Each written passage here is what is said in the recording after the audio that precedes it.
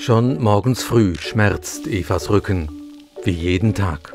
Eva ist Lastwagenchauffeurin bei einem großen Detailhändler. Sie mag ihre Arbeit und die Familie ist auch auf ihren Lohn angewiesen.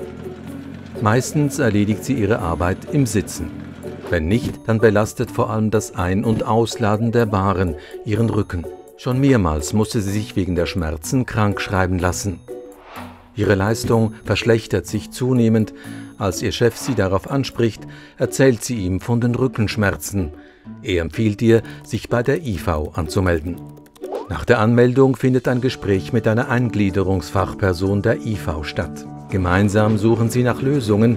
Eva erhält eine spezielle Sitzauflage, um den Rücken zu entlasten. Eine Weile geht es ihr besser, doch nach einem halben Jahr sind die Schmerzen zurück. Die IV lässt Evas Krankheitsfall durch die behandelnde Ärztin und den regionalen ärztlichen Dienst prüfen. Sie empfehlen, dass Eva keine Lasten mehr heben und tragen sollte.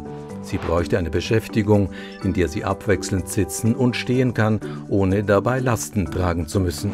Eva bangt um ihren Job. Es plagen sie Existenzängste. Doch die Eingliederungsfachperson macht ihr Mut. Die IV unterstützt sie mit Eingliederungsmaßnahmen, damit sie eine neue Tätigkeit ausführen kann. Zufällig ist eine Stelle im Kundenservice frei. Hier könnte sie abwechselnd sitzen, stehen und herumgehen. Die IFA unterstützt und begleitet Eva beim Einstieg in den Kundenservice. Die neue Tätigkeit tut Evas Rücken gut und ihre Gesundheit verbessert sich.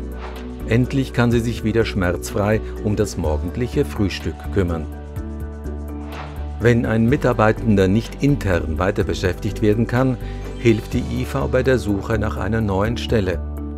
Doch es gibt Menschen, die nur noch teilweise oder gar nicht mehr arbeiten können. Für sie ermittelt die IV-Stelle den Invaliditätsgrad und einen allfälligen IV-Rentenanspruch. In jedem Fall arbeitet die IV-Stelle eng mit allen Beteiligten zusammen, um die optimale Lösung zu finden.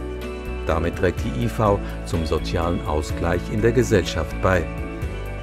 Es gibt Menschen, die benötigen vorübergehend Hilfe von uns, andere ein Leben lang.